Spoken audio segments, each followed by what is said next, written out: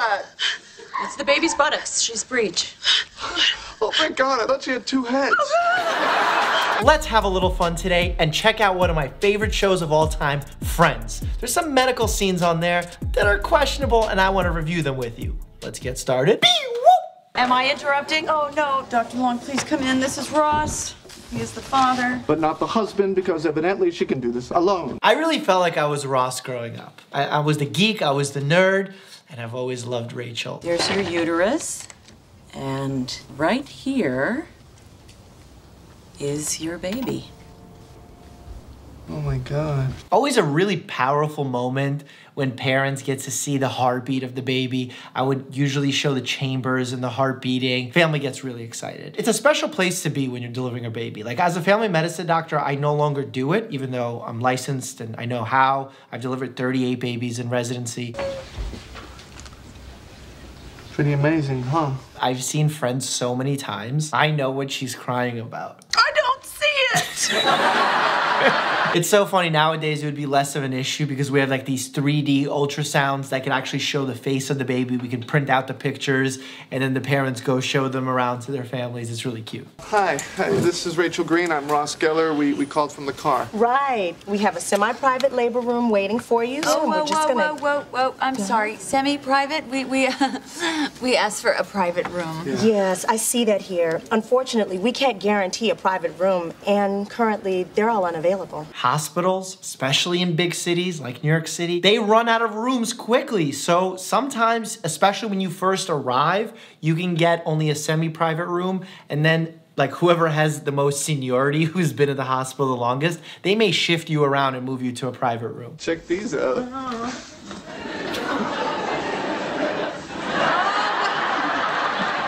It's a funny position for us. Back in the day, these used to be called stirrups. We tend not to use that word anymore because weird connotations. We now call them leg rests or ankle rests or foot rests. What's that? New people. When it's your first pregnancy, statistically it takes longer. You have a longer labor. If someone's coming in for their third or fourth baby, usually the process is a lot quicker, so you're gonna have multiple roommates if it's your first. You listen to me. Since I have been waiting, four women, that's four, one higher than the number of centimeters that I am dilated, have come and gone with their babies. I'm next. It's my turn. It's only fair. When she says she's uh, three centimeters dilated, what she's talking about is the opening of the cervix. That's the uh, opening of the uterus. The way we monitor the progression of labor is through doing an estimate measurement, uh, usually through a digital exam using our fingers, to see what that dilation is. And three centimeters dilated is really early in the labor process. Push. I'm gonna push for five more seconds. My favorite part of this is the resident or medical student just standing there. That is so accurate. they just stand there aimlessly, like, what should I do? I'm learning. That was me back in the day. That was all of us. One thing is, I don't know why the doctor's not wearing a mask. We wear masks. Wait. I see something. What, you do? You do? Oh my God! Don't say, oh my God, oh my God, what? What is that? It's the baby's buttocks. She's breech. Oh, thank God. I thought she had two heads. Breech means the baby is coming out not head first, coming out butt first, which is problematic. You want the baby to come down and descend the canal head first. Uh, breech has a high rate of complications. It's going to be a tricky delivery, especially if it's this far along. But I love that Ross took a look and did not faint. Because a lot of fathers, when they take a look, they're not ready to see everything that's going on. They get a vasovagal reaction where blood pressure drops, not enough circulation, not enough blood flow getting to the head, and they go wham! I always have my nurses keeping an eye on the dads while uh, the mom's delivering. You're gonna have to push even harder. Nothing's happening. I'm sorry, I can't. Yes, you can. Hey, hey, come on. You can. I know you can do this. Let's go. No, you, please, you do it for me. No. What they're missing here is the mom shouldn't just be pushing aimlessly. She should be doing it along with the contraction, so it should be timed. Like we get to see the baby monitor um, on the side. When we see the contraction starting, mom should feel it. And at that point, we should have the mom bear down, push, count, and maybe give a second effort there. But they're just, looks like they're pushing aimlessly. that is not a newborn baby. Oh, she, she's perfect. Oh, wow. Oh, she's so tiny.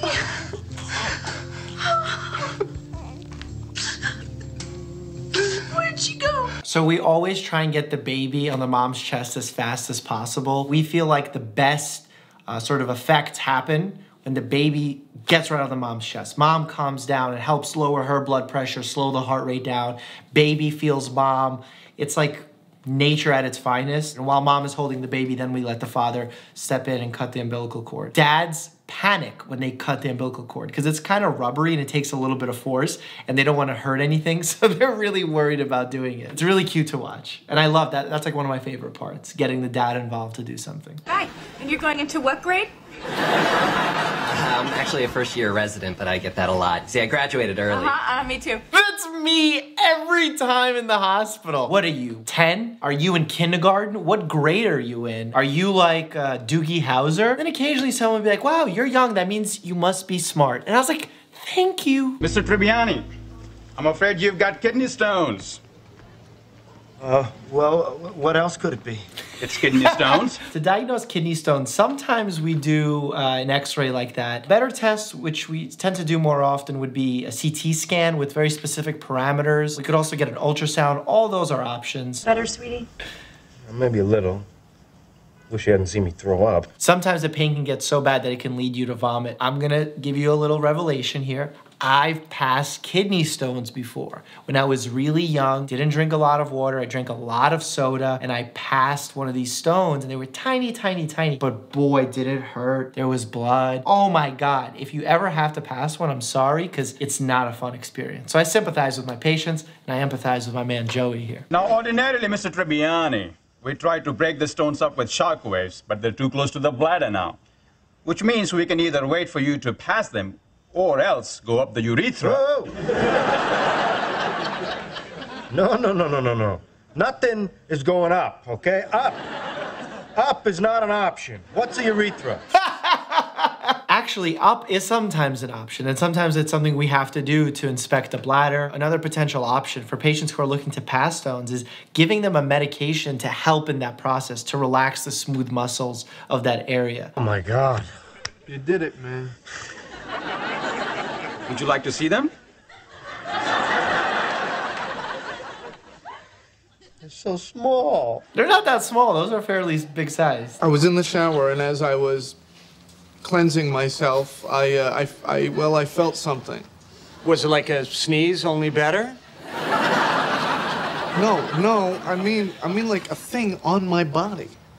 What was it? Well, I, I don't know. It's, it's kind of in a place that's not, it's not visually accessible to me, and I was hoping maybe you guys could, could help me out. Whoa!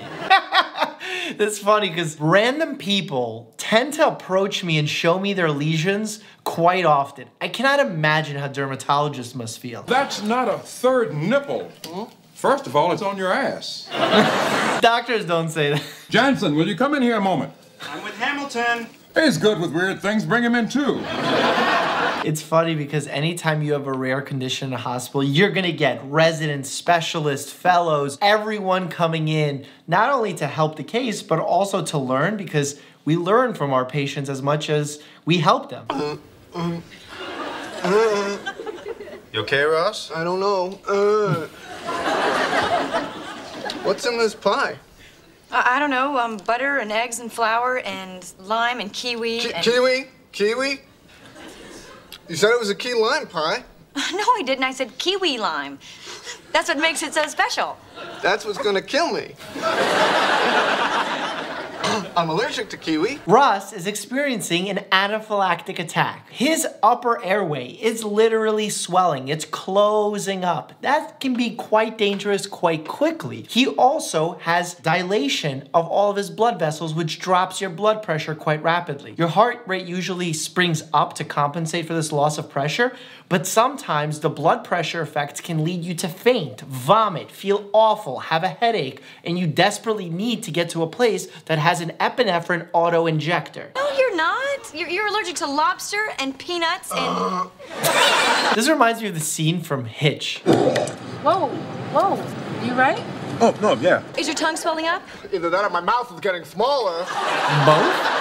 All right, get your coat. We're gonna go to the hospital. You really should call 911 in these situations because Uh, the ambulance will arrive usually with an epinephrine auto-injector on board and they can administer it if they need to. The last thing you want is to get in a car and then the swelling gets worse and then your throat closes up in the car and you don't know what to do. So call 911 for help. Even if you actually give yourself an epinephrine auto injector, you should still head to the ER. 20% of the time, you may need either a second injection or other interventions because the first one has failed. You also need to be monitored after you give yourself epinephrine, your heart rate, your blood pressure, all of that. There's no way I'm gonna get a shot. I mean, maybe they can take the needle, you know, and squirt it into my mouth. You're like like a squirt gun. You have to give the shot. You have to give it quickly, way quicker than what he's experiencing here. And you have to give it right in the anterior lateral portion of your thigh. That's where you get the most absorption as fast as possible. Remember, this is an emergency. Add a pinch of saffron, it makes all the difference.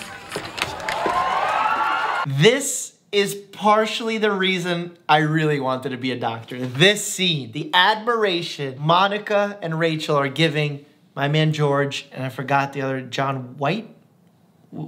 Will? Noah Wyle. Getting all this attention, I wanted it. Mostly because no one paid attention to me, not because I was like huge ego. You're gonna walk over to the operating table, you're gonna stop on that blue mark, you're gonna put the tray down. Don't walk too fast. But don't dawdle. Okay, now what? If they're truly operating on this patient, why are all their masks down and why does Phoebe have no gloves on? I don't like what's happening here. I know this is a show inside of a show inside of a show, and we're in Inception land, but I still get frustrated because I want you to have an accurate picture of what happens in a hospital system. You dig? Don't know what I'm doing, but it feels like I'm squaring up the conversation. How's it going? Going really good. But enough about me. Come on. What- what- Where are you from? What do you do? I'm a doctor. Right. Right. I'm I actually I meant, you know, in your spare time. Do you cook? Do you ski or just hang out with your wife or girlfriend? Uh, I don't have a wife or girlfriend, but I, I do like to ski. Oh, I love to ski.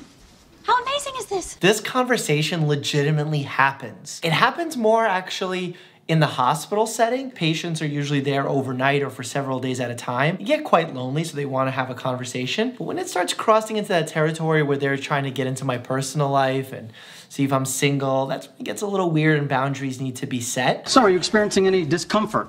No, I'm very comfortable. Oh my God, this reminds me of my interview that I just did on The Daily Show not too long ago. How close is too close? Ideally, you'd want to keep six feet away from anyone uh, that you're not familiar with. Would this be too close? In my medical, professional medical opinion, I would say that's too close. So six feet and the washing your hands, Is this too close? that would be too close. Too close. Awkward. Here's two throwback medical drama reviews. ER, Doogie, Howser. Which one are you gonna watch? Watch them both. Medical accuracy is not bad in both, but which one are you watching? As always, stay happy and healthy.